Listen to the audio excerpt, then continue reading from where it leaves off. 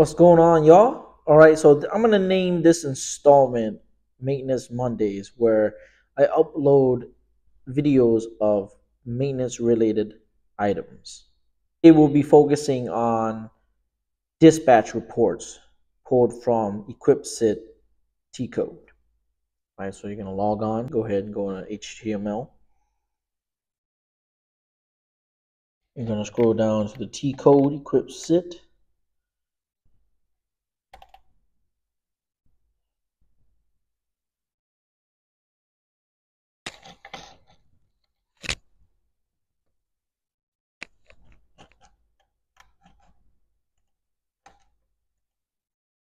Right there. That's a T code transaction forward slash ISDFPS forward slash DISP underscore EQU underscore SIT. All right. So now you're going to type in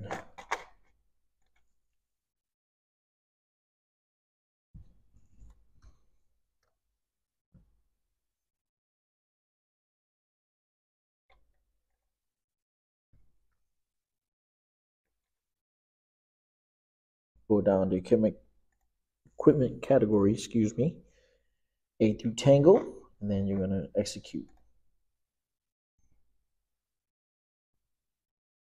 All right, once it has populated, you're going to want to go here, far left, select all.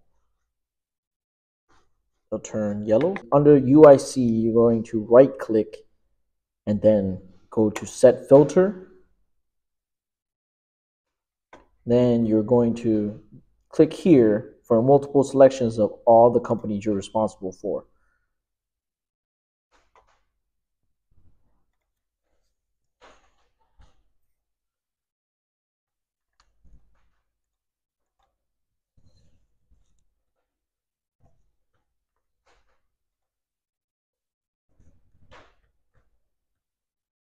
Click execute.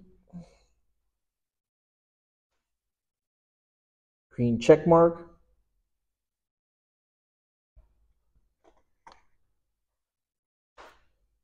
Then you're going to go click here. It's going to look a little different on the WinGUI. It'll say notification, whereas on the HTML, I had to click over. You're going to uncheck the all and just check the dispatch.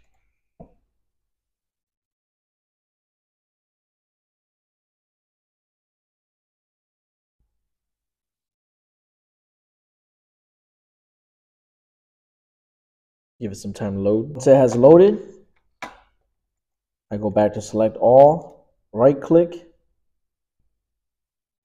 and then spreadsheet it, which will give you an Excel spreadsheet of all the dispatches that are open.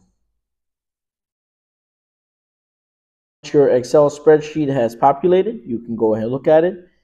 And this is how you pull a dispatch report. Now, this is good for commanders to show them that hey this is your equipment that still currently has an open dispatch or overdue. Just filter it out if you want or you can just leave it like this.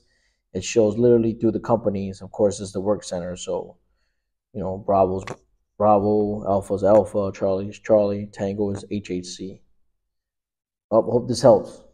I catch y'all next time on maintenance mondays. All right y'all